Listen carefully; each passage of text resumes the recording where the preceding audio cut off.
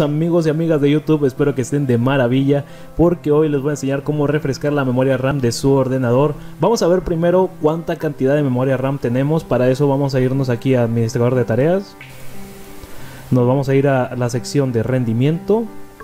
Vemos que aquí tenemos todas las secciones como CPU, memoria, disco, Ethernet, GPU, pero lo que más nos interesa es esta opción de aquí, que es la memoria RAM. Aquí podemos ver que tenemos 16 GB, entonces vamos a abrir el archivo, no se preocupen por los datos, porque yo se los voy a poner aquí abajo en la descripción. Y ya volviendo al video, para esto vamos a hacer lo siguiente, vamos a crear un archivo que es un bloc de notas, no le vamos a poner ningún nombre, lo vamos a abrir, listo, aquí lo tenemos. Ahora vamos a abrir el archivo, o más bien los datos que se les dejaré aquí abajo en la descripción. Dependiendo de la memoria RAM que tengan ustedes, es lo que van a usar aquí en lo que viene siendo el archivo que vamos a crear. Yo un ejemplo, yo tengo 16 GB, así que le voy a poner aquí. Voy a copiar esto. Perfecto, ahora lo cierro.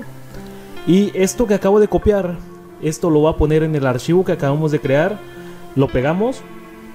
Ahora lo guardamos, guardar como en escritorio. Le vamos a poner refrescar memoria RAM.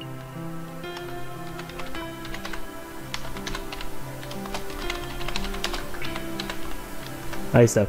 Ahora ya tiene el nombre puesto. Ahora lo que vamos a hacer es lo siguiente. Vamos a ponerle un punto. B, B, S. Vamos a darle en guardar.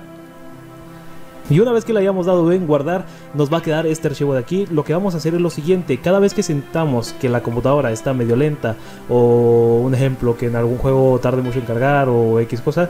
Eh, le vamos a dar clic y eh, después de esto, pasados 5 segundos, tendría que haber una mejora de rendimiento.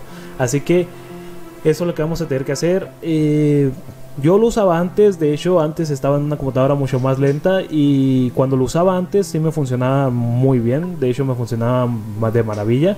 Un ejemplo, yo me la pasaba editando en lo que es siendo la computadora de mi padre, una computadora que actualmente pues sí está un poquito bajo en especificaciones, pero en ese tiempo cuando yo hice videos pasados así como loquendos de GTA San Andreas así esto era lo que me ayudaba básicamente a mejorar un poquito más el rendimiento y hacerla un poquito más rápida en este caso ya después les traeré más opciones que pueden optimizar mejor la computadora, pueden hacerla un poquito más rápida. Un ejemplo fue el video que subí anteriormente, pero nos estaremos viendo en futuros videos con nuevas cosas, nuevos complementos para la computadora para hacerla más rápida y una que otra recomendación para sus setups. Espero verlos muy pronto con nuevos tutoriales, nuevos videos y nos vemos hasta la próxima. Espero que les haya gustado y les haya servido este tutorial y nos veremos. Chao, chao.